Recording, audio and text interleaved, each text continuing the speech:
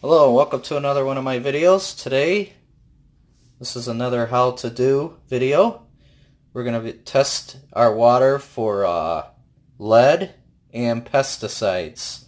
So in order to do that, we will need, um, of course, the uh, test kit. And we went to a uh, hardware store, big chain hardware store. And this is the uh, water testing kit. It's called ProLab.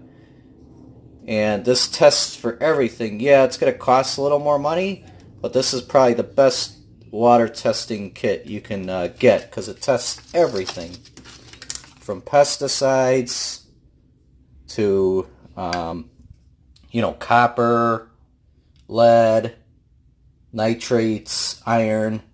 So it has all the tests, and if, as you can see, I open it already. These are all the things it tests. So let's go ahead and get started. Um, so I already opened the packet already. So it comes with two small strips. And then it comes with a dapper. And then it has a little test tube here. So here we have our water already. So you in or, you have to make sure that the water is cold for the test to uh, be the most effective. So here we go. We're going to do two drops as the instruction states. So that's one drop. And two drops. And then the next thing you'll have to do is you take your two test strips and again one is for the pesticides. As you can see here it says it on the strip. The blue one's for the pesticides and then the yellow one's for the lead. So let's go ahead and you have to make sure that both the test strips with the the arrows are facing down. So you put one and two like so. And then we have the timer here, and, you, and it has to be exactly 10 minutes. So let's go ahead and set that, or start the timer now, and see what the results are. Pulled out the test strips. So it looks like number one is uh, darker than number two.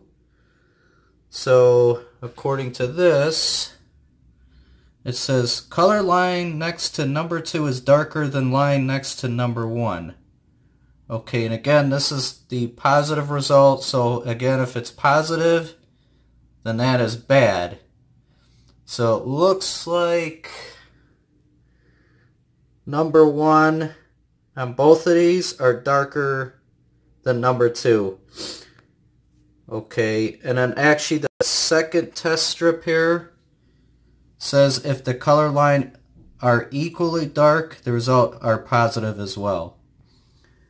So it looks like number one is darker than number two on both test strip number one and test strip number two. So again, this is the lead test strip. So this one actually is good. And then there are no pesticides. So there's not too much lead. I'm sure there's some lead in there somewhere because they are old pipes, but it's not enough to be, you know, affect our drinking water. So it appears that our drinking water in our faucet appears to be good. So again, this is a great test uh, to do at home uh, if you suspect of having lead pipes. And from what we hear, uh, from the neighboring city of Chicago by us. Uh, they have a lot of lead pipe issues. It's it's all over the news.